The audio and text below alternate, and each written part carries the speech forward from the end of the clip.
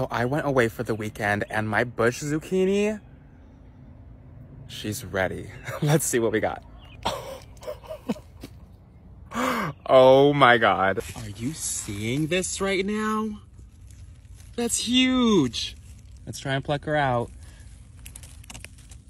Oh.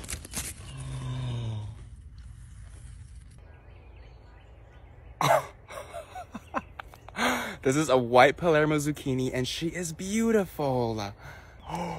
We aren't done yet. There's another one and this is definitely more of the size you want to harvest at. Here we go. Wow. Stunning. Abundance. Oh my gosh, I can't wait to taste them.